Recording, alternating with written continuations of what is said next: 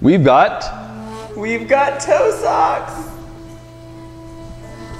So come on in if you want looking for some last minute gifts to buy for your loved ones, your friends, in-laws, um, or just to have as a chew toy for your uh, favorite pet. Um, these toe socks are really good for any kind of day-to-day activities around the house, indoors obviously. Uh, they have uh, traction on them. Uh, so if you want to practice yoga, Tai Chi, Pilates, you want something to keep your toes warm, as well as work on certain subtle acupressure points on the feet. Um, these are fantastic gift ideas and we have them all different colors and different sizes. We even have toeless toe socks. Toeless toe socks. So Get then them what, while they're hot. So what, what would they be called then if they're toeless toe socks?